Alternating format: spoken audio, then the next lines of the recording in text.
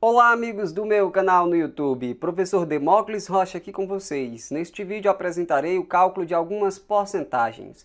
25% de 420, quanto que dá? 12% de 50, qual é o valor? Você sabe calcular 10% de 35 e 17% de 17, quanto que dá? Neste vídeo apresentarei o cálculo de cada um desses valores. Se você apoia esta iniciativa, deixe o seu like. Para ficar sabendo dos nossos próximos vídeos, inscreva-se no canal e acione o sininho das notificações. Vamos lá! Professor, como é que a gente vai calcular 25% de 420? Nós vamos utilizar, neste caso, o cálculo mental. 25% de um valor é um quarto desse valor. Você pode lembrar disso. Professor, quer dizer que sempre que eu quiser calcular 25% de um valor, basta dividir esse valor por 4? Exatamente. E quanto é que dá, professor? 420 dividido por 4, hein? Olha, muito simples, dá para fazer com cálculo mental. 400 dividido por 4 dá 100 e 20 dividido por 4 dá 5. Então a resposta desse primeiro aqui ó, é 105. Nossa, professor, que legal, não sabia que dava para fazer tão fácil assim com cálculo mental. Bom, você pode lembrar, sempre que você for calcular 25% de um valor, basta dividir esse valor por 4, ok? Beleza, vamos para o próximo. Quanto que é 12% de 50, hein? Professor, não sei. Olha, se você usar essa dica aqui, você vai fazer com cálculo mental também. Como é que eu vou fazer 12% de 50 com cálculo mental, professor? Basta você lembrar que 12% de 50 é a mesma coisa que 50% de 12. Professor, eu não sabia disso, professor. Pois agora está sabendo. Você sempre pode utilizar essa técnica de trocar de posição os termos aqui, ó. 12% de 50 é 50% de 12. Nesse caso é bom, porque calcular 50% de um valor é só calcular a metade desse valor. Quanto que a metade de 12 é 6, professor. Então acabou. Fácil desse jeito. Professor, então, por exemplo, 10% de 15 é o mesmo que 15% de 10? Exatamente.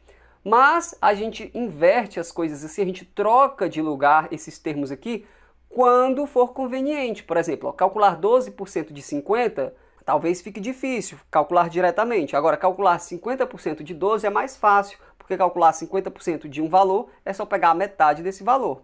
Então, professor, você está dizendo que 12% de 50 é 6. Exatamente, porque 12% de 50 é a mesma coisa que 50% de 12.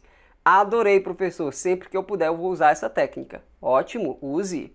Então, vamos lá, vamos para o próximo. Professor, esse próximo eu já sei, ele é muito fácil. Para calcular 10% de um valor, basta dividir esse valor por 10, né, professor?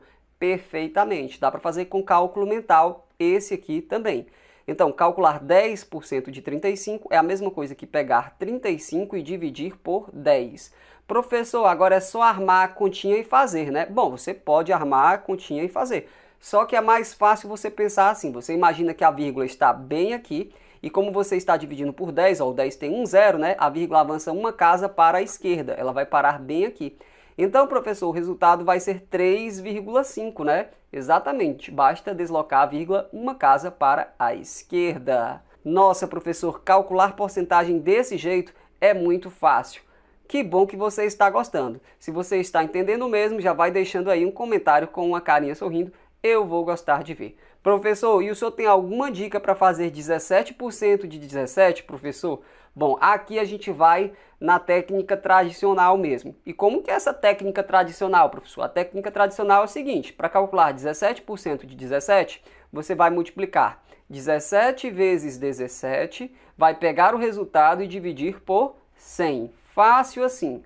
Professor, mas eu não sei quanto é 17 vezes 17. Se você fizer a continha, você vai observar que é 289. Professor, e você sabe de cor 17 vezes 17? A gente acaba memorizando algumas coisas, né? Porque a gente pratica todo dia. Pratique você também e você vai lembrar disso e muito mais.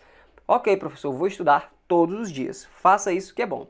Bom, 17 vezes 17 é 289, basta dividir agora esse número por 100. A gente imagina que a vírgula está bem aqui, como o 100 tem dois zeros, a vírgula vai avançar duas casas para a esquerda. Uma, duas. Ela vai parar entre o 2 e o 8, não é, professor? O resultado será 2,89. É, professor, esse cálculo aí ficou fácil porque você sabia de cor 17 vezes 17. Mas se fosse uma multiplicação que você não soubesse, professor, aí eu ia ter que multiplicar mesmo, né? Eu poderia tentar simplificar antes também. Essa é uma possibilidade, ok? Bom, eu espero que você tenha entendido. Professor, já estou fera no cálculo de porcentagem. Ah, então você vai calcular algumas porcentagens que eu vou deixar aqui para você. Quanto é 25% de 48? Se você souber calcular, deixe um comentário com a resposta. Se você se empolgou e quer continuar praticando, diga aí pra gente quanto que é 28% de 50? Dá para fazer com cálculo mental? Deixe um comentário com a resposta. Será que você consegue me dizer quanto que é 10% de 123? Comente o resultado. Se você está mesmo disposto a praticar, comente aí quanto que é 18% de 18. Eu estou ansioso para ver os comentários de vocês. Hoje, galera, a gente recebe tantos comentários que nem sempre eu tenho tempo de responder todos mas quase sempre eu consigo ler todos. Eu queria dizer que eu sou muito grato a vocês todos por isso. A gente fica por aqui, um abraço e até a próxima. Tchau!